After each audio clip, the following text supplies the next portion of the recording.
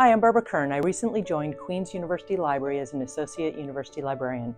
I could tell you about the welcoming library staff who routinely go above and beyond. I could mention our vast information ecosystem of scholarly resources and archival material. And I could mention our innovative and exciting programs, but who better to tell you about Queen's University Library than the people in our beloved libraries on campus? Here is what some of them have to say. My favorite thing about the library is the mindset that it puts me into instantly as soon as I walk in through the doors.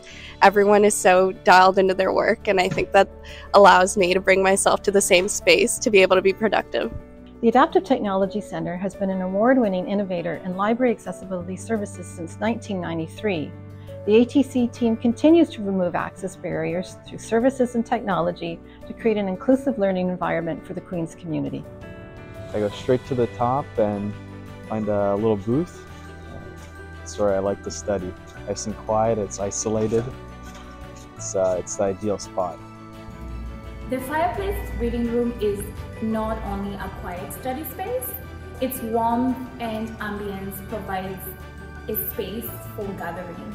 I heard the higher you get, the more, the quieter it is.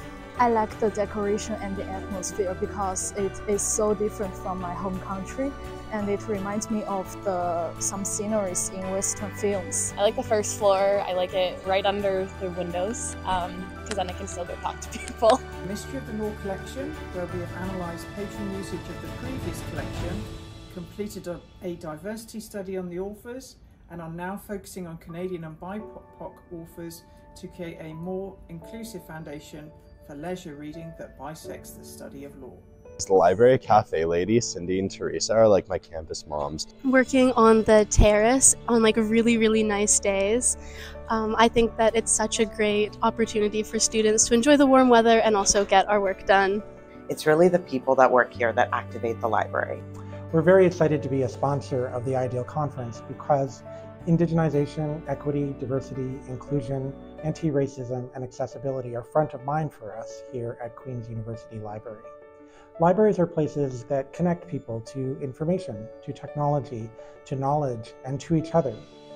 In this time when it seems like digital, social, and economic divides are pulling us apart, libraries can bring us together. The IDEAL Conference is a wonderful opportunity to express this joyful and hopeful future.